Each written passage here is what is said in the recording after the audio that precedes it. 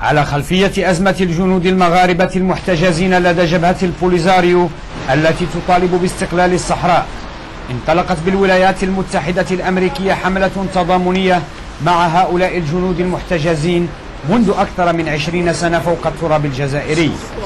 وقد ركز منظم هذه التظاهرة على وحدة المصير بين الشعبين الجزائري والمغربي وعبروا عن رفضهم لكل أشكال التفريق بين شعوب المغرب العربي الكبير. وحنا والجزائر خوت وجيران وتتبقى واحد العلاقة. يعني آه، عريقة. سعادة السفير الجزائر. رسالة توجهها فخامة الرئيس الجزائري طويلة تنظر بها؟ صراح الجنود المغاربة منظم التظاهرة حملوا رسالة تتضمن عدة مطالب للرئيس الجزائري. يأتي على رأسها العمل على إطلاق سراح الجنود المحتجزين.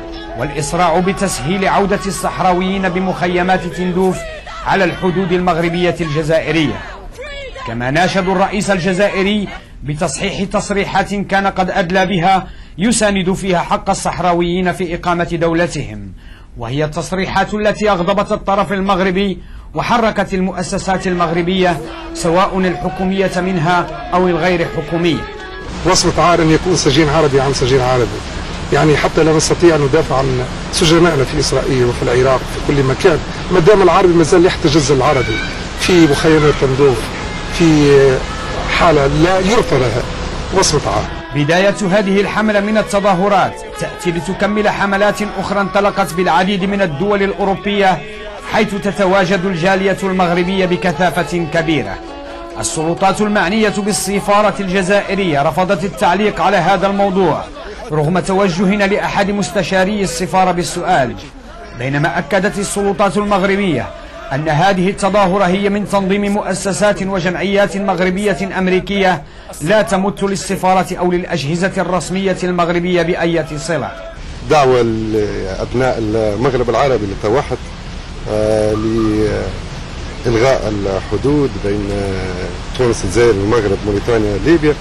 لا وجود لوزير المغرب الأقصى يسموه في تونس.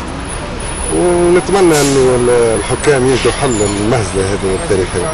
ثلاثة عقود من الصراع حول الصحراء بين البوليزاريو والجزائر من جهة وبين المغرب من جهة ثانية كانت كافية لعرقلة حلم قيام اتحاد المغرب العربي وهو الحلم الذي لا يزال يتحطم كل مرة على عتبة مشكلة الصحراء. من وجهة النظر الجزائرية مسألة المحتجزين محصورة بين المغرب والبوليزاريو بينما يعبر أبناء المغرب العربي بالولايات المتحدة عن حل آخر هو الوحدة والاتحاد بين جميع شعوب المغرب العربي. محمد سعيد الوافي العالم واشنطن.